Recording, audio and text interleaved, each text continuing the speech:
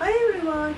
In this video, we want to discuss the drug interaction between ibuprofen and low-dose aspirin. Both these medications belong to a family called NSAIDs, an abbreviation for non-steroidal anti-inflammatory drugs. Ibuprofen has analgesic effects and low-dose aspirin is mostly used for its uh, antiplatelet effects. These medications both bind to the same area in the enzyme.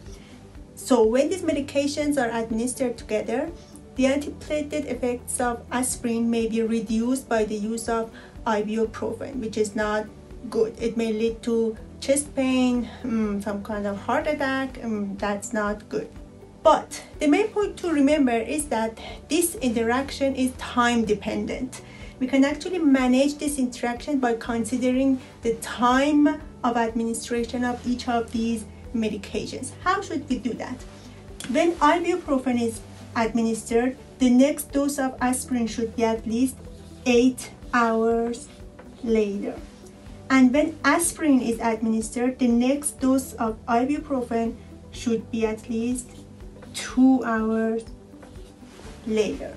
With this approach, these medications are allowed to be administered together with no negative consequences.